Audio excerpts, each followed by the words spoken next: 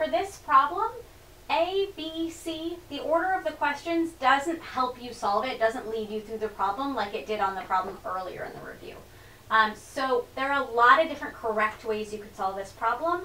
I'm just going to show you one of them. Looking at the information I have, I know the atoms of oxygen, which is just a part of H3PO4. It's not the whole thing. Um, I can start on any of these. I'm going to start by getting to something about the whole thing, because I think for a lot of people that's easier to work with. So I'm not going to start with A, B, or C. I'm just going to start over in my own little corner. And I'm going to take my atoms of oxygen, turn it into molecules of the whole thing. Um, I know 4.24 times 10 to the 24th is my atoms of O. What I don't know are my molecules of H3PO4. Atoms and molecules, we can say are proportional to how many atoms in one molecule, always a 1 before the molecule.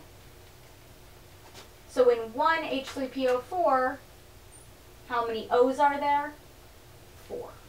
Solving this will get me molecules, which is of the whole thing. Um, and from there, there are a lot of different places I can go. Cross multiplying, we get that 4x equals 4.24 times 10 to the 24th. Dividing by 4,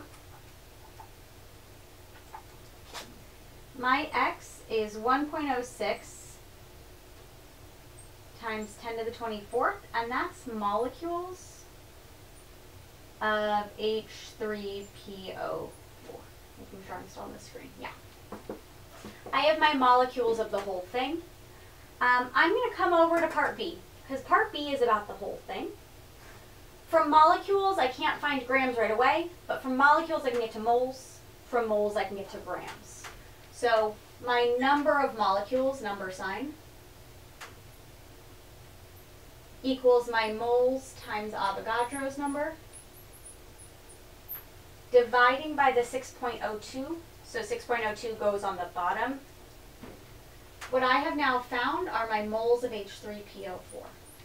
I'm labeling not just that it's moles, but that it's H3PO4, because I'm going to want to be able to find this number later to use it in one of the other parts. So my moles of the whole thing, which I know it's the whole thing because these were molecules of the whole thing, is 1.76. I want grams, so grams equals those moles times the molecular weight of H3PO4. Three H's, a P that's 31, and four O's that are each 16. My molecular weight is 98. Therefore, my grams are 172.48. From grams of the whole thing, I actually don't need to use that number ever again. Um, but from moles of phosphorus and atoms of hydrogen, I'm going to need some numbers I just found. Moles of phosphorus I can find, that's a part, and I know my moles of the whole. So I can set up a proportion between moles of phosphorus and moles of the whole thing. I want the moles of phosphorus. I know from all this work I did earlier that I have 1.74 moles of the whole thing.